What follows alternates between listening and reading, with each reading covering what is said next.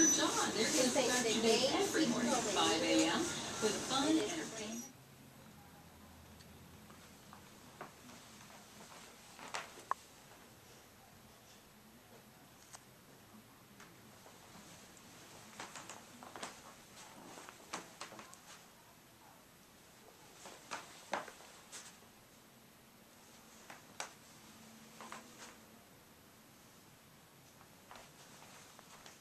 Here's the, the maintenance cat with his tools.